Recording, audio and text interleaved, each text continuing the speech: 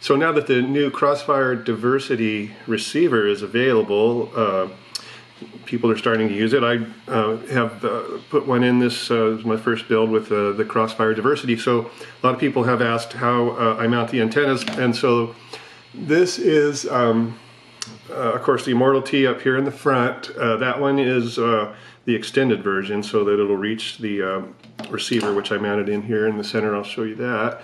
And then the rear is a, a custom, basically an extended Crossfire uh, the basic antenna uh, with an extension so that it uh, it can reach the uh, receiver. So that's uh, these are the two antennas, the video antenna here, and then down here this is the um, GPS. So this is a TPU mount. I'll leave a link in the description for where you can get that on Thingiverse as well as the uh, tray in here. So the first thing when you um, you need to work on the uh, stack or you need to get under here, uh, I'll show you how this comes apart and then we can show you how the um, antenna is uh, mounted in here.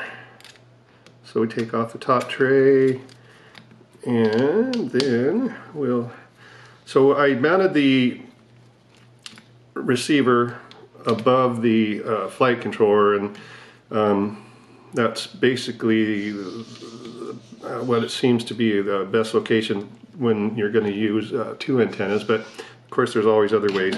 So this, um, basically you take the uh, front and rear off, front and rear screws off, out of there, and then the uh, the tray uh, basically uh, cut a little a little uh, notch in there so the antenna can come through that. Okay, so now we've got the uh, um, tray tray off, and we take off the uh, video antenna with the SMA connector. Just pops out of there, and then uh, you can take the uh, disconnect the GPS, and then the uh, antenna is on an antenna tube, and that basically just pulls out of the uh, of the fitting.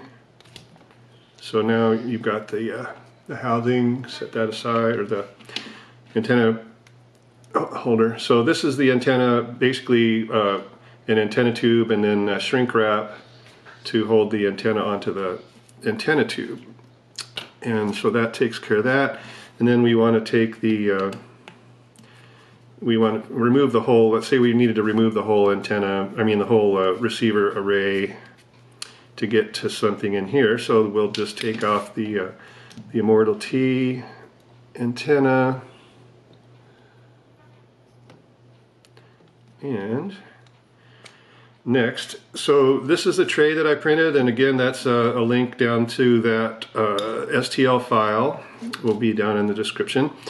Um, the tray uh, basically holds the uh, Crossfire Diversity receiver and it's upside down so the it's basically just flipped over. So you'll see that here in a second. So this is uh, the the, uh, the tray.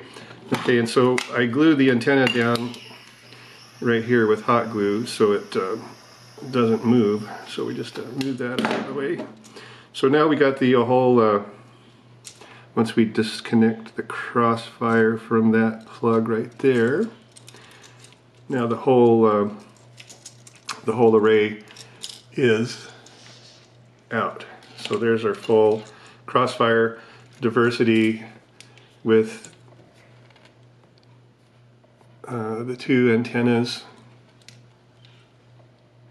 and shrink wrapped. And so with the mount, I made a little uh, it, a little uh, piece that sticks out here so you can shrink wrap the antenna to keep it from moving around because it's uh, the only way to make it reach is uh, you can't loop it up here so it just had to go straight out. So there's a little um, uh, fit piece on this uh, printed part there that lets you basically um, put a shrink shrink wrap on there and that holds it in place. So the antennas aren't coming off the uh, UFL connectors are, are pretty good. So that's how that mounts on the uh, flight controller. The flight control still, you know, it's I don't think it's affected by it. It's uh, really well dampened and everything else. So anyway, so that's the the setup, and then to put it back together is basically, obviously, just the reverse. But uh, the antenna, I I mean the uh, the way the reason I mounted it upside down, you can mount it right side up, but upside down that, that this way uh, nothing's going to catch on the battery straps if you put uh, if you have a couple battery straps in here. So by keeping it uh, facing down, you know, you keep it away from from the uh, battery straps, and that's that was uh, that was one of the things I wanted to uh, avoid was snagging things with the battery straps. So anyway, so that basically it goes back together like that. Um, I still, this is my uh, beeper. I basically just hot glue that to the to the graphite bottom plate and it just points out through the hole in the bottom. And that, that's worked well for me on these frames. So what I do is basically uh, hot glue the wires of the buzzer down and so that hot glue, I'll use that to uh, as an extra uh, security for that antenna. So anyway, so the bat, the reverse uh, put it all back together.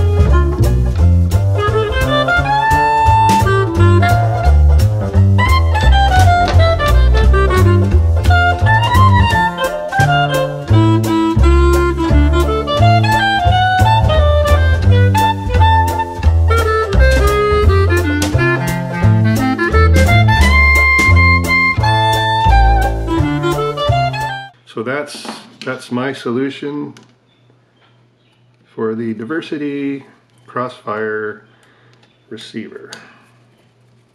Thanks for watching and happy flying.